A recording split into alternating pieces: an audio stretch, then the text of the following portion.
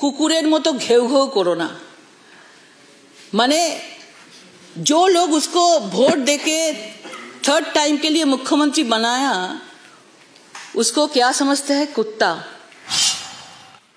আমরা সেই পশ্চিম বাংলায় যে কথাটা আমাদের মাননীয় শুভেন্দুদা বললেন যে অরাজকতা চলছে আর পশ্চিম বাংলায় রাষ্ট্রপতি আসাকালীন যে অনুষ্ঠান হবে সেখানে পর্যন্ত বিরোধী দলনেতাকে আমন্ত্রণ জানানো হয়নি।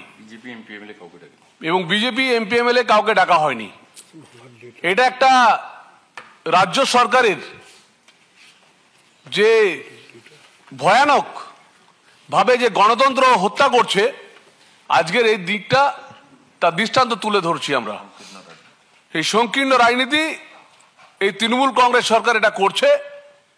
বিরোধী দলনেতাকে দেখলেই ভয় পায় তাই হেরো মুখ্যমন্ত্রী কোনো মতেই শুভেন্দু অধিকারী মহাশয়কে রাষ্ট্রপতির যে মঞ্চ থাকবে সেই মঞ্চে ভাগ করতে চাইছেন না তাই আজকে আমরা এই রাজ্য সরকারের প্রতি ধিক্কার জানাই बंगाल में जो इश्यूज चल रहा है एक के बाद एक हम लोग आप लोग भी देखे हैं पूरा देश का जनता देख रहे हैं और प्रधानमंत्री और केंद्रीय सरकार ने जो बंगाल के लिए जो, पूरा देश के लिए जो ये 22 23 में जो बजट बंगाल के लिए भेजे हैं और जो योजना केंद्रीय सरकार ने पूरा देश के लिए भेजे है, वो बंगाल में भी शामिल है सबके लिए। इसमें कोई जात पात का राजनीति नहीं है।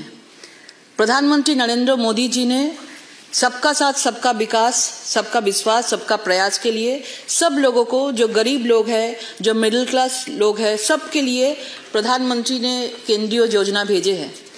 लेकिन बहुत सारा योजना ऐसा है कि हम लोग देखते हैं कि उसका नाम चेंज हो जाते हैं। जैसे शुभेंदु दा ने बोला है, जैसा प्रधानमंत्री गरीब कल्याण अन्य योजना, सबके लिए फ्री राशन आप लोग देख रहे हैं कि कोविड के बाद से, कोविड का जो परिस्थिति हुआ था उस टाइम से अभी तक सबके लिए फ्री राशन मिल रहा है। लेकिन अब बंगाल में जाएँगे तो आप देखेंगे इसका नाम बंगाल में जाते जाते चेंज हो जाता है कि खाद्य साथी बोल के। इसमें एक भी पैसा राज्य सरकार ने नहीं देते हैं। फिर भी ये लोग बोलते हैं कि खाद्य साथी प्रकल्प टीएमसी सरकार का है, ममता बनर्जी का है। उसके बाद भी बोलते हैं कि बंगाल में केंद्रीय सरकार ने कुछ नहीं भेजते हैं, पैसा काट लेते इसलिए धरना धरना प्रदर्शन भी उनका है।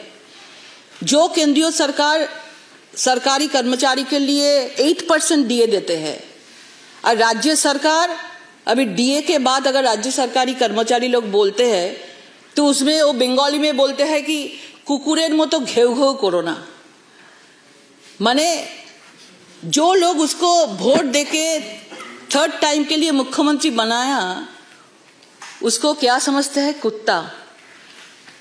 इतना असम्मान करते हैं डिसरेस्पेक्ट करते हैं। और उसके बाद भी ये लोग बोलते हैं कि केंद्रीय सरकार बंगाल को इग्नोर करते हैं। आज ये लोग धरना में बैठेंगे। बोलते हैं, अगर एक के बाद एक एक के बाद एक, अगर बंगाल का इतना ज़्यादा इश्यूज़ है तो बंगाल की जनता को तो काम छोड़ के 365 डेज़ ही धरना प्रदर्शन करना पड़ेगा। अभी हम लोग देखा डेमोक्रेसी के लिए सांसद चत्तर में कल टीएमसी लोग धरना में बैठेंगे। डेमोक्रेसी डेमोक्रेसी का बात पश्चिम बंगाल कर रहे हैं। जो डीए विरोध में डीए प्रदर्शन के लिए जो विरोध में, जो अवस्थान विक्षोभ में जो शिक्षक, जो जो टीचर शामिल हुआ था, उसको उसको शोकस नोटिस देते हैं। उसको बोलते क्यों तुमने वहाँ पे शामिल हुआ? एक साइड में उसको डीए नहीं बढ़ाएँगे और दूसरा साइड में उस, उसको शोकॉट नोटिस देते हैं। तो बंगाल का जनता बंगाल का सरकारी कर्मचारी कहाँ पे जाएँगे? डेमोक्रेसी का बात करें तो पश्चिम बंगाल ऐसे एक राज्य है पूरा देश से बाहर हो गया है ये। और ये डेमोक्रेसी का बात करते हैं। हम लोग देख रहे हैं कि पैसा नहीं है, पैसा नहीं है। बार बार बोलते हैं कि केंद्रीय सरकार ने पैसा काट लेते हैं। और पैसा कहाँ पे है? पैसा है कोई नेता मंत्री के घर पे। करोड़ों करोड़ों रुपए जुबो नेता, छोटा जुबो नेता जो होता है, पंचायत लेवल में इतना करप्शन होता है। आप सोच लीजिए कि ऊपर में कितना करप्शन है। बीरभूम ज़िले का सभापति अभी तिहाड़ जेल में है। उसके बाद भी ममता बनर्जी ने उसको ही वहाँ का सभापति रखा, बीरभूम जिला का। इसका मतलब क्या है? जो करप्शन करेंगे, उसको ही सम्मान मिलेगा। जो तोलाबाजी करेंगे, खून खराबी करेंगे, उसको ही सम्मान मिलेगा। क्योंकि सामने वोट है। वोट का राजनीति है, वोट बैंक का राजनीति है। तो तृणमूल का और एक नाम क्या है? करप्शन का सरकार है। और ये सरकार के खिलाफ भारतीय जनता पार्टी लड़ रहा है और फ्यूचर में भी लड़ेंगे और हम लोग एक साथ होके सरकार के खिलाफ हम लोग धरना कल हम लोग किसान मोर्चा ने विक्षोभ समावेश प्रदर्शन करेंगे और पूरा जनता के साथ हम लोग फ्यूचर में लड़ाई करेंगे करप्शन के विरुद्ध में धन्यवाद আমাদের ভিডিও ভালো লাগলে লাইক এবং শেয়ার করুন কমেন্ট সেকশনে গিয়ে জানান আপনাদের মতামত আরও ভিডিও পেতে আমাদের চ্যানেল সাবস্ক্রাইব করুন এবং প্রতি মুহূর্তে খবরের আপডেট পেতে প্রেস করুন বেল আইকন।